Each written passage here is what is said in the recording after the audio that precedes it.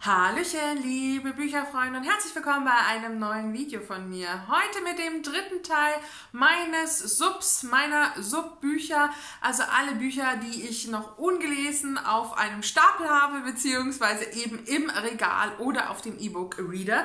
Ich habe euch äh, ja meine Bücher in drei Teile aufgeteilt. Heute sind wir beim dritten Teil. Ich packe die anderen beiden äh, Teile unten in die Infobox. Solltet ihr die noch nicht gesehen haben, schaut gerne mal vorbei. Äh, ich habe jetzt sozusagen den ganzen Rest ist. es wird sehr Fantasy-lastig, es wird ein bisschen romantisch und äh, E-Books und digitale Bücher habe ich jetzt alle hier, die ich irgendwie in den anderen beiden Videos nicht kategorisch äh, sozusagen zugeordnet habe und es alles ein bisschen durcheinander ist. Aber es ist natürlich immer die große Kunst, äh, ja, digital und haptisch so ein bisschen zu sortieren. Ich habe nach Genre so mehr oder weniger in den Regalen sortiert, aber bei den E-Books, äh, wenn ich da nicht gleich was gesehen habe, das ist ein E-Book oder was auch immer, ich habe jetzt einfach geguckt, dass ich alle Bücher noch unterbekommen habe. Wir sind bei um die 80. Lovely Books sagt etwas von 83 äh, Subbüchern zum äh, ja, Ende Juli diesen Jahres und ich bin sehr gespannt. Vielleicht machen wir das ja tatsächlich einmal im Jahr und schauen uns da einfach mal meinen Sub an. Und äh, ich finde, die Subzahl ist etwas komplett äh, Subjektives, ob man sich damit wohlfühlt oder nicht. Ähm, ich sage immer, solange alles so ja, nicht dreistellig ist, fühle ich mich ganz wohl und äh, mich haben aber auch meine Substände bei über 100, 110 nicht wirklich gestört, weil ich ja da immer kontinuierlich äh, dran bin. Da könnt ihr mir ja gerne mal sagen, wie es euch da so mit eurem Sub geht, äh, ob ihr eure Anzahl überhaupt wisst, ob ihr das irgendwo trackt oder ob das eher was ist äh, ja, für ganz buchige, nerdige Menschen und äh, ja, ich denke, wir starten jetzt einfach so ein bisschen erstmal wieder mit den haptischen Büchern. Dann blende ich euch, ich glaube, in dem Video auch ein paar E-Books ein und auch noch ein Hörbuch, was ich im letzten Video vergessen hatte. Und äh, ja, starten wir ein bisschen mit den ja, romantischeren äh, Büchern, die jetzt so im Regal stehen. Sind gar nicht so viele, weil ich die sehr oft, ähm, also romantische Bücher sind bei mir sehr selten Highlights. Deswegen habe ich die oft äh, ja im Grunde in digitaler Form. Aber das sind jetzt Bücher, die ich glaube ich auch so ein bisschen ertauscht habe. Und ja, mal günstig gekauft habe. Und ja, ein Niklas Sparks und zwar Mein Weg zu dir.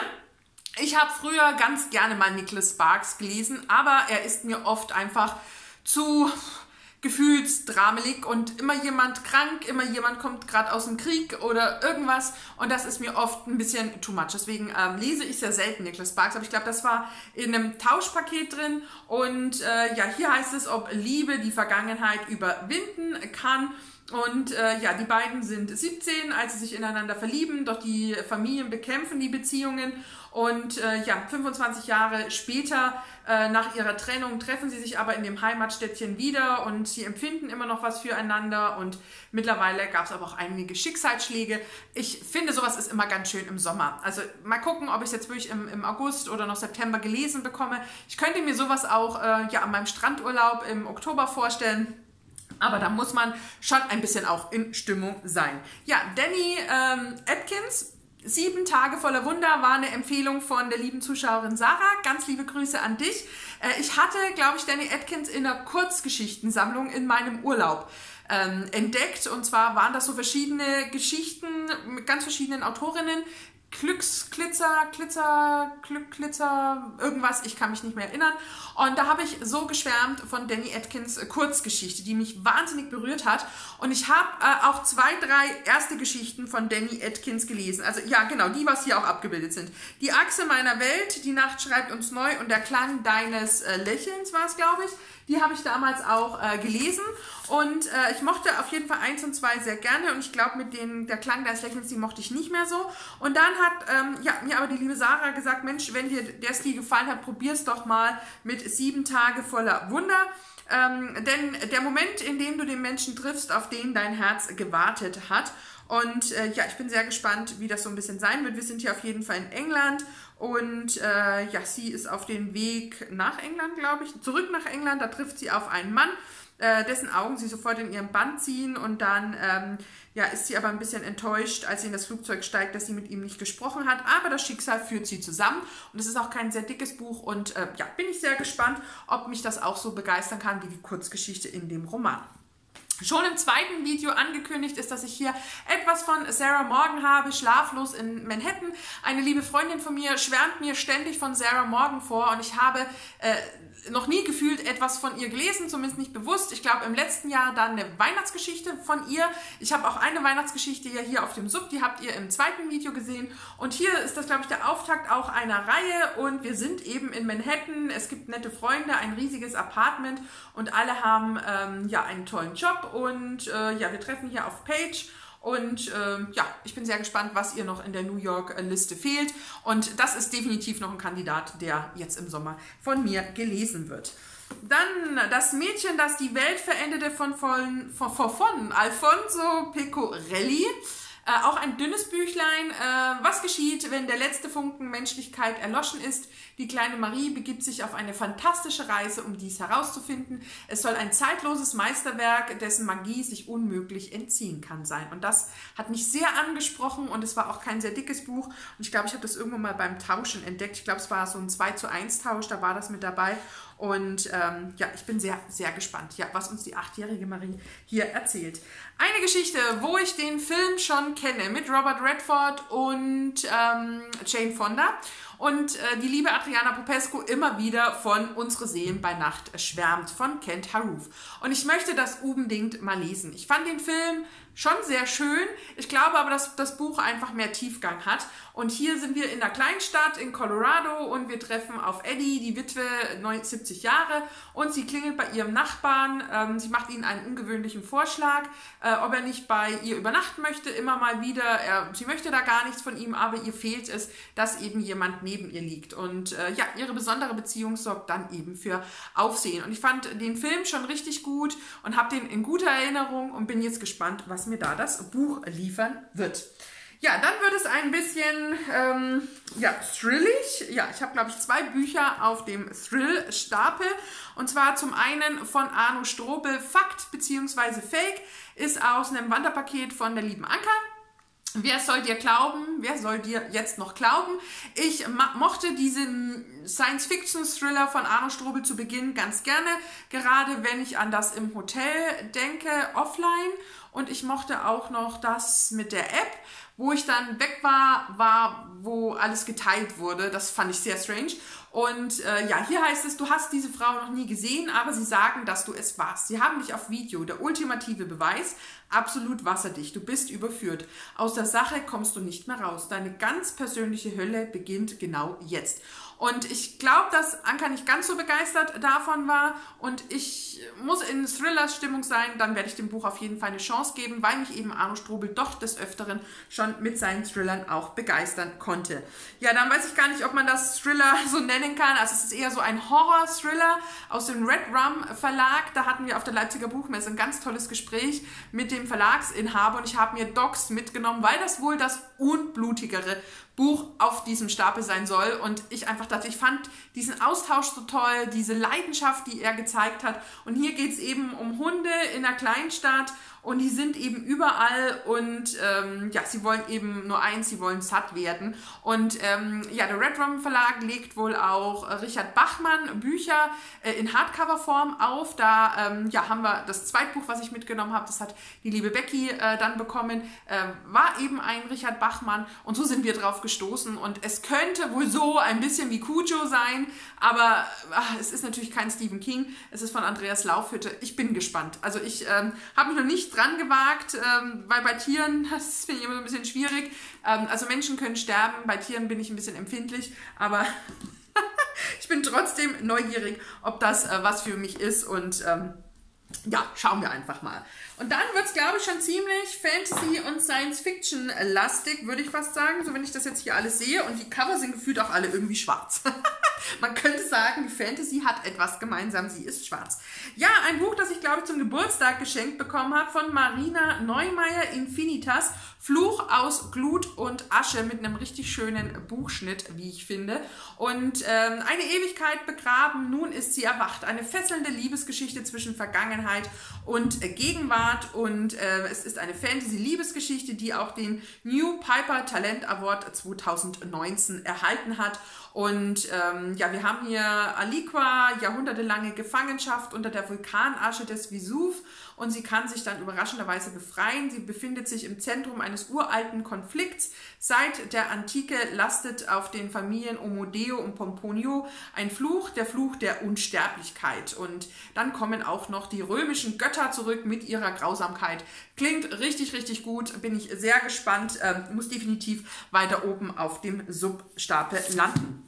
Ein Buch, was ich mir in Nürnberg als Mängelexemplar mitgenommen habe, ist Wenn die Dunkelheit endet von Constanze Sawyers. Das ist eine Geschichte, die ich schon ein bisschen länger auf der Wunschliste hatte und es dann als Mängelexemplar für 5 Euro in Nürnberg entdeckt habe. Eine magische Liebe, die Jahrhunderte überdauert. Es soll ein mitreißender Roman sein und eine zauberhafte und berührende Liebesgeschichte. Und es beginnt im Frankreich des 19. Jahrhunderts und da verliebt sich Juliette Lacomte und äh, der Maler ähm, Auguste Marchand.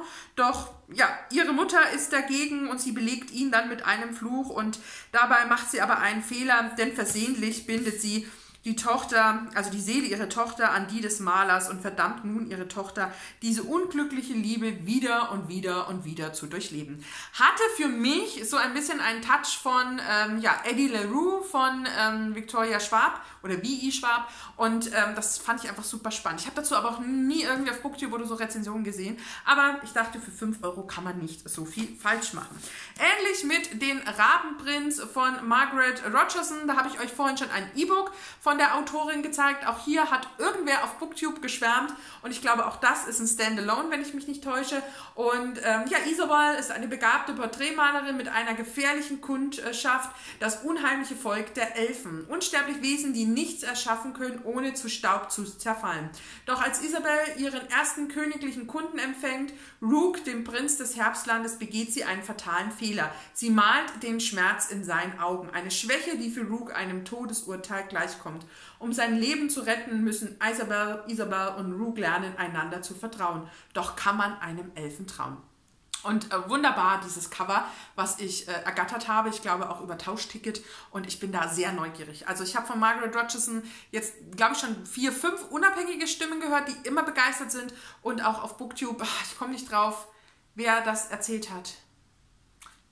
Ja, es tut mir sehr leid. Wenn es mir einfällt, äh, versuche ich es in der Infobox zu verlinken und freue mich da aufs Lesen. Dann ein Buch, was relativ neu dieses Jahr erschienen ist von Diane Winnie Jones. Die verborgene Geschichte des Tom Lynn äh, hatte ich schon im Englischen auf der Wunschliste, ist dann im Deutschen bei mir eingezogen, denn es ist eine außergewöhnliche Geschichte über die Magie von Geschichte und die Macht der Fantasie und es soll eines der besten Bücher seit langem sein und wird sogar so ein bisschen mit Tolkien und T.S. Eliot verglichen. Und äh, ja, wir treffen auf Polly Whittaker. Sie hat, ähm, sie bemerkt, dass sie zwei Erinnerungen hat. In einer ist ihr Leben trostlos, langweilig und öde und in der anderen Erinnerung gibt es da jemanden, den charmanten, etwas schusseligen Musiker Tom Lynn. Sie schreiben sich Briefe, tauschen Bücher aus und erfinden Geschichten und Abenteuer über mutige Heldinnen und wilde Bestien, Tagträume, die sich langsam einen Weg in die Realität bahnen. Doch wie konnte sie ihn vergessen und mit Hilfe eines gestohlenen Gemäldes erkennt Polly, dass Toms Leben in Gefahr ist. Und äh, ja, sie muss jetzt ihre gemeinsamen Geschichten durchschauen und dann kann sie ihn hoffentlich auch retten. Und das klingt richtig, richtig toll, dass man hier eben in, in, in, ja, in eine Erinnerung geht, dass da irgendwas nicht passt und äh, dass man dann eben versucht, äh, den anderen zu retten. Ja, freue ich mich drauf. Äh, bin ich schon sehr, sehr, sehr gespannt, was mich erwartet. So, jetzt kommt der nächste Stapel. ja, das mit der Fantasy nimmt hier gar kein Ende. Wir könnten aber zwischendrin ja mal kurz was Science-Fiction-mäßiges einziehen, äh, anschauen. Und zwar ein Buch, das ich auch bei meinen drei ältesten Subbüchern hatte. Und zwar die letzte Astronautin von David Wellington. Wir dachten, wir wurden sie nicht, wir dachten, wir würden sie nicht länger brauchen. Wir haben uns geirrt. Eine Empfehlung von der lieben Kerstin Merkel, die auch ganz erschüttert war in meinem längsten Sub äh, sozusagen Büchern, dass das noch nicht gelesen ist. Und sie selbst sagt, sie konnte sich aber auch nur noch an das Ende Ende erinnern. Und äh, ja, ein Buch, das sie die kalten Tiefen des Weltraums zu gleichen Teilen mit Schrecken und Verwunderung betrachten lässt. Bin ich super neugierig. Ich äh, reise ja ganz gerne mal ins All. Ich äh, wollte ja auch immer mal äh, eine Mondmission ähm, machen und auf den Mond fliegen, da Kaffee trinken und auf die Erde schauen. Das klappt jetzt wohl in diesem Leben nicht mehr, aber dementsprechend zieht es mich dahin und es ist relativ weit oben auf dem Sub. Es muss jetzt demnächst einfach mal gelesen werden. Ja, dann fangen wir so ein bisschen mit dem Stand. Es sind echt immer sehr dunkle Cover. Es ist faszinierend.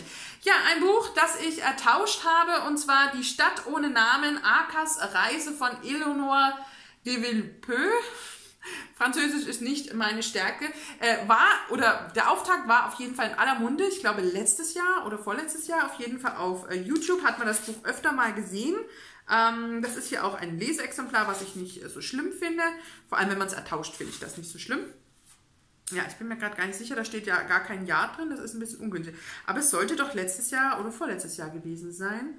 Berlin 21. Naja, dann sind es sogar schon fast zwei Jahre. Und ich glaube, mittlerweile ist auch schon der dritte erschienen. Eine Stadt voller Magie und dunkler Geheimnisse, der fulminante Auftakt zum Fantasy-Epos. Ähm, auf der Suche nach ihrem Vater kommt die junge Arka in die sagenumwobene Stadt Hyperbortea. Also der Klappentext, diese Schrift ist, äh, weiß ich gar nicht, wer sich das ausgedacht hat. Doch wie soll sie den Mann finden, den sie nie zuvor gesehen hat? Zu ihrem überraschenden Verbündeten wird der Magier Lastianax. Auch er verfolgt eine Mission. Er will den Mörder fassen, der Hyperborea in Angst und Schrecken versetzt und es soll in den Grundfesten erschütternd sein. Ich bin sehr gespannt, sehr neugierig, finde auch das Cover richtig schön und frage mich gerade, warum das eigentlich so lange schon auf meinem Sub liegt. Dann ein Buch von Leigh Bardugo, die Sprache der Dornen. Ich liebe das Grisha-Verse mit der Grisha-Reihe, mit den Krähen, mit der Nikolai-Dilogie und die Sprache der Dornen ist aber etwas ganz, ganz anders. Es ist düster, magisch und wunderschön. Sechs märchenhafte Erzählungen von der Bestseller-Autorin Leigh Bardugo. Die Liebe spricht durch Rosenblüten, aber die Wahrheit braucht Dornen und das fand ich schon richtig, richtig toll. Ähm, es geht um hungrige Wälder, magische Künste und grausame Geheimnisse und in der Welt der Grischer und der Krähen erzählt man sich in langen Winternächten gern Geschichten voller dunkler Versprechungen von der Meerjungfrau, deren Stimme furchtbare Stürme heraufbeschwört, über eine alte Kräuterfrau, die viel mehr ist, als sie scheint, bis zum hässlichen Fuchs, der sich beim falschen Märchen einschm Mädchen einschmeichelt. Freue ich mich sehr drauf, ähm, ist definitiv auch was für Herbst-Winterabende. Das wird in diesem Jahr auf jeden Fall dann auch gelesen. Dann eine Empfehlung ähm, aus, äh, ja, aus, aus Zuschauerreihen. Und äh, zwar äh, Die Lieder der Erde von Elsbeth Cooper ist der Auftakt einer Reihe, ich glaube einer äh, Trilogie und es heißt nur, wer die Lieder der Erde hört, kann das Geheimnis der Magie ergründen. Wir haben hier einen der größten Fantasy-Romane unserer äh, Zeit. Das finde ich immer ganz wichtig. Äh, das ist natürlich immer nur so bedingt spürbar. Ist, glaube ich, auch schon über zehn Jahre alt. Richtig, aber ich glaube viel mehr. Ähm ja, ein Hexer muss sterben, sterben. Darüber lässt das heilige Buch von Eador keinen Zweifel. Grausam verfolgt die Kirche all diejenigen, die bei der Ausübung von Magie erwischt werden. Doch dann geschieht das Unfassbare. Der junge Guy, eben noch auf seine Verurteilung als Hexer wartend, kann mit Hilfe eines mysteriösen Fremden fliehen. Auf der weiten Reise zu den Westinseln erfährt Gair, dass er eine besondere Gabe besitzt. Er kann den magischen Schleier, der die Welt vor dem Chaos und der Zerstörung dämonischer Wesen bewahrt, weben. Und ähm, ja, dann erfahren wir auch noch ein bisschen was über den Retter. Freue ich mich drauf. Klingt einfach episch und nach wunderbarer Fantasy und bin ich sehr, sehr, sehr gespannt drauf. Dann habe ich, äh, ich weiß gar nicht mehr in welchem Video, war auf jeden Fall auch ein drei Bücher, die äh, ein, ein, ein, ja auch im Grunde eine Empfehlung einer Zuschauerin und zwar von Robin Hood, der Weitseher. Äh, ich glaube, es war so ein bisschen ging um die Autoren, die man jederzeit liest, ohne eigentlich zu wissen, um was es in dem Buch geht. Und äh, da hat äh, ist der Name gefallen. Dann habe ich nach einer Empfehlung gefragt und es war dann äh, ja im Grunde diese Reihe vom und, und dem Weitseher, denn es ist ein Held, den man nie vergisst. Wir treffen auf Fitz, der an den Hof gebracht wird, äh, denn er, es wartet ein schweres Schicksal auf ihn. Er ist der Bastardsohn des Kronprinzen, seine bloße Existenz ist ein Skandal und seine verborgene Gabe der Weitsicht vielen ein Dorn im Auge. Einzig der alte König erkennt seine wahre Fähigkeiten und macht Fitz zu seinem Werkzeug. Werkzeug, Werkzeug, Werkzeug. Denn das Königreich der sechs Provinzen ist in großer Gefahr und nur die magischen Weitseher können den Verderben trotzen. Klingt episch, klingt groß und es soll auch ein bisschen bildhaft, vielleicht sogar ein bisschen langsam, langatmig, wie mancher dann in der Fantasy sagen würde, erzählt werden. Aber ich freue mich drauf, wenn jemand ausschmückend Fantasy schreiben kann. Dann haben wir oh, die Dunkeldorn-Chroniken Blüten aus Nacht. Äh, war eine Empfehlung aus äh, meiner Thalia Buchhandlung. Eigentlich waren wir auf der Suche nach anderen Büchern. Äh, dann sind wir irgendwie da stehen geblieben. Und dann kam äh, die Buchhändlerin, hat total geschwärmt von dem Auftakt der Reihe von Katharina Seck.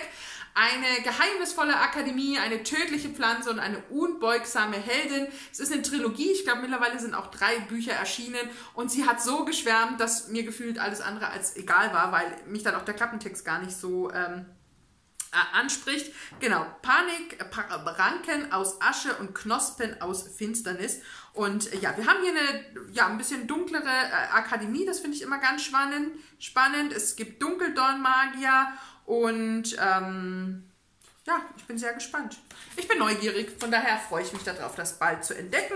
Und dann glaube ich zwei Bücher, die jetzt auf jeden Fall im August September dran stehen. Ähm, zum einen ist das eine ein Rezensionsexemplar, was jetzt zeitnah gelesen wird, und zwar Vampiria, der Hof der Finsternis von Victor Dixon mit einem sehr coolen, wenn auch nicht ganz außergewöhnlichen Buchschnitt. Ist der Auftakt, glaube ich, einer Dilogie, nein, Trilogie, genau, sind auch alle drei schon ähm, abgebildet. Äh, ist der Fantasy-Erfolg aus Frankreich und äh, ja, ich bin, wer denkt bei Victor Dixon auch an Daryl Dixon aus The Walking Dead? Also ich gefühlt immer. Ähm, traust du dich, mich zu lieben? Ich bin keine Adlige, ich träume nicht von Bällen, sondern von Blut. Vom Blut des Königs. Und wir sind hier am Hofe Versailles rund um Ludwig den ähm, 14. Und äh, der, der, der Vampiradel hat sich am Hofe ähm, der Finsternis in Versailles äh, ja, breit gemacht in Dekadenz und Prunksucht und geben sich dem Blutrausch auch äh, hin. Und ja, ich bin sehr gespannt. Es klingt nach düsterer Vampirgeschichte und da freue ich mich wirklich sehr, sehr, sehr drauf. Wie auch auf Babel, ein Buch, das ich in der Bücherbüchsen-Ausgabe habe mit diesem sehr coolen äh, Buchschnitt, habe ich mir auch in Leipzig äh, mitgenommen, ist auch von ja, so ohne Buchschutzumschlag richtig schön äh, gestaltet. Habe ich mir damals eben zur Leipziger Buchmesse sozusagen mitbringen lassen von der Bücherbüchse. Ist ein Wälzer von ja, etwas über 700 Seiten, hat mich aber mega angesprochen von R.F. Kuang. Ähm, Tradudore, Tradidore. Übersetzung ist immer ein Akt des Verrats. Wir sind äh, 1836 in Oxford, die Stadt der träumenden Türme und das ist das Zentrum allen Wissens und Fortschritts in der Welt, denn dort befindet sich Babel, das königliche Institut für Übersetzung, der Turm, von dem die ganze Macht des Empires ausgeht. Wir treffen hier auf einen weißen Jungen aus dem chinesischen Kanton und äh, erfahren von einem geheimnisvollen Vormund, ähm, der ihn nach England gebracht hat äh, wo es scheint, dass Babel das Paradies wäre, doch es scheint eher zu seinem Gefängnis äh, zu werden und es ist der, ein spektakulärer Roman der preisgekrönten Autorin über die Magie der Sprache, die Gewalt des Kolonialismus und die Opfer des Widerstandes. Super, super neugierig, freue ich mich auf jeden Fall drauf, es zu lesen und bin da schon sehr, sehr, sehr gespannt drauf. Ja, das letzte haptische Buch äh, ist dann auch eine kleine englische Geschichte, die ich bei den englischen Büchern irgendwie vergessen habe, weil sie einfach im falschen Regalfach lag. Und zwar The Tea Dragon Society habe ich bei der lieben Ruth von zwischen 1000 Zeilen gesehen und habe es mir dann auch mal äh, mitgenommen und wir haben hier einen, kleine, ja, einen kleinen Manga oder einen kleinen Comic und hier geht es eben um die äh, kleinen Teedrachen und ja, ich bin super neugierig und das wird jetzt auf jeden Fall mal zwischendurch gelesen. Ja, dann kommen wir jetzt noch zum Hörbuch und zwar ist das der Knochensplitterpalast, der Auftakt, die Tochter. Äh, ich blende es wieder mit ein. Äh, ist auch jetzt erst im Juli, glaube ich, bei mir eingezogen, wurde mir auch vom Verlag zur Verfügung gestellt, ist der Auftakt einer Trilogie. Ich glaube, der zweite Band ist jetzt erschienen, so bin ich darauf auch aufmerksam geworden. Und auch hier haben wir wohl feinste Fantasy und ein episches Werk und ich bin sehr gespannt, was es mit diesem Knochensplitterpalast dann auch auf sich hat. Und ich glaube, jetzt müsste ich auch alle E-Books durchhaben. Ich gehe mal schwer davon aus, äh, nein, Hörbücher, entschuldigt. Jetzt kommen wir zu den E-Books und zwar Cornwall-Träume im kleinen Katzencafé, Sehnsucht nach Cornwall von Kara Lindern ist der Auftakt einer Reihe. Ich glaube, mittlerweile gibt es drei. Der vierte Teil kommt im September und so bin ich auch darauf aufmerksam geworden und dachte, da musst du natürlich erst den ersten äh, Band lesen. Und hier haben wir eine Protagonistin, die eben, ich glaube, von ihrer Tante ein Haus erbt und soll daraus ein Katzencafé machen. Irgendwie so. Und ich finde Cornwall immer super spannend, ist auch etwas, was ich unbedingt mal bereisen möchte. Und so freue ich mich dann auf dieses Katzencafé. Dann letztes Jahr noch eingezogen, konnte aufgrund äh, ja, von Krankheit dann nicht mehr gelesen werden in der Vorweihnachtszeit. Und zwar das Fest der Liebe. Ist auch, glaube ich, letztes Jahr herausgekommen. Da habe ich jetzt dieses Jahr tatsächlich schon vier Weihnachtsbücher, glaube ich, die ich lesen sollte, müsste, könnte. Ähm, hoffe ich, kriege ich das durch. Weißt du, das habe ich ja, wenn Bücher so imaginär auf einer Liste sind, immer keine Lust mehr. Ich kann nicht mehr sagen, um was es geht, aber auf jeden Fall eine Weihnachtsgeschichte. Dann das Flüstern der Raben an Sus äh, ist auch, glaube ich, der Auftakt einer Trilogie. Und da bin ich in meiner Thalia, ich glaube, über den zweiten oder dritten Band gestolpert mit so einem Wolf auf dem Cover. Fand ich super ansprechend, ist auch High Fantasy. Bin ich sehr, sehr neugierig, äh, weil ich finde, auch aus dem Verlag gibt es immer super spannende Bücher. Ja, vielleicht hätte ich mir ein bisschen die Klappentexte mit rausnotieren sollen bei den E-Books. Da ist das nicht immer ganz so einfach. Aber wenn euch irgendwie ein Buch interessiert, äh, ich werde sie nicht alle in der Infobox packen, das äh, ist jetzt, glaube ich, zu, zu, viel des Guten, aber ihr findet natürlich die Bücher auch auf allen einschlägigen Plattformen. Ähm, ja, wo haben wir noch ein bisschen E-Book? Äh, ja, hier und zwar Liebe als gäbe es kein Morgen. Auch das ist erst im Juli eingezogen, ist der Auftakt einer dreiteiligen Reihe rund um so ein bisschen das Leben mit Wahlen. Wir haben hier auch zwei Leute. Er hat äh, seine Frau verloren, lebt mit der Tochter alleine und sie hat ist auch irgendwie ähm, ja, ist auch irgendwie einen Schicksalsschlag erlebt und beide treffen sich dann eben an dieser Küste, wo man Wale beobachten kann. Und ich liebe Wale und ich mag solche Schicksalsgeschichten und Lebensgeschichten und das fand ich einfach sehr spannend. Dann auch der Lighthouse Bookshop ist erst bei mir eingezogen. Ähm, da geht es eben um den Leuchtturm, der auch ein Antiquariat hat, sich da eine Truppe von drei oder vier Leuten findet, die alle irgendwie, ja, denen etwas passiert ist, die da Zuflucht suchen. Dann stirbt der Besitzer und dann müssen eben alle vier gucken, äh, wie sie sich dieses ähm, ja, gemeinsame, ungewöhnliche Zuhause ähm, ja, zu eigen machen und es auch behalten können. Dann habe ich noch Menschen, die wir noch nicht kennen, von äh, Freya Samson. Von der habe ich, glaube ich, schon zwei Bücher gelesen. Ich glaube. Und hier geht es um das ähm, Busfahren und da trifft die Protagonistin jemanden in dem Bus, der vor zig Jahren, 20 Jahren, 25 Jahren auch mit der Linie gefahren ist, dort eine Frau kennengelernt hat und jetzt eben auf der Suche ist und äh, sie dann eben beobachtet, die Menschen im Zu, im Bus und äh, welche Geschichten die dahinter haben. Und das hat mich auch sehr, sehr, sehr angesprochen. Und ich glaube, wenn ich das jetzt hier so richtig an meiner Liste sehe, müsste das eigentlich alles gewesen sein.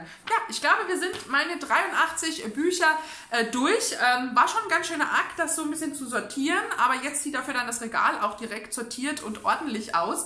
Äh, es sind ja auch ein paar meiner Subbücher im Highlight-Regal, wenn sie eben zu gewissen Autoren, Autorinnen dazugehören, wie zum Beispiel das Leigh Bardugo-Buch steht natürlich bei der Grischer-Reihe. Aber ja, ich glaube, das, ähm, ja. Erzählt mir gerne mal, ob ihr eins der vielen Bücher jetzt vielleicht schon kennt, ob ihr sie begeistert äh, gelesen habt oder ob ihr sie selbst auf dem Sub habt. Wenn ihr irgendwie Lust habt, vielleicht dann die Bücher äh, in den nächsten Wochen, Monaten gemeinsam zu lesen, schreibt das gerne mal in die Kommentare. Man kann jetzt ja zum Beispiel bei Rio auch wunderbar Buddy Reads planen oder man findet sich irgendwie auf anderen Plattformen, um in kleinen Gruppen dann vielleicht das ein oder andere Buch zu lesen. Würde ich mich sehr, sehr, sehr freuen. Und ich äh, hoffe, ihr hattet jetzt Spaß mit meinen Subbüchern. Schaut gerne in den anderen Videos vorbei, wenn ihr noch nicht dort wart. Und äh, ja, ist jetzt ganz schön, mal so einen Stand zu haben. Und dann vielleicht gucken wir einfach mal im nächsten Jahr, was dann auf dem Sub liegt und in der Hoffnung, dass dann möglichst nichts mehr von den Büchern sozusagen übrig ist. Und das äh, ja, war es jetzt von mir. Ich danke euch fürs Zusehen, wünsche euch jetzt noch einen schönen Tag, einen schönen Abend und bis zum nächsten Video. Macht's gut. Tschüss, eure Steffi.